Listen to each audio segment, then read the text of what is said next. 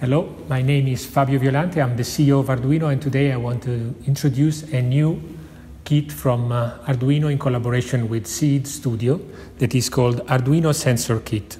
It is the right companion for the Arduino legendary product, the Arduino Uno Rev 3, and can be used both by beginners and also more advanced users to make their experiments with Arduino.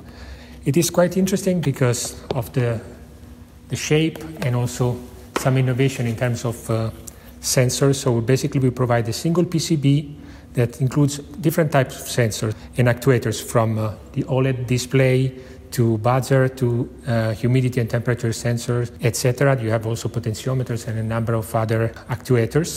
And uh, it can be plugged very easily into a number of projects directly using the PCB, or each single sensor can be cut from the PCB and connected via this cable to this shield that plugs on top of the Uno.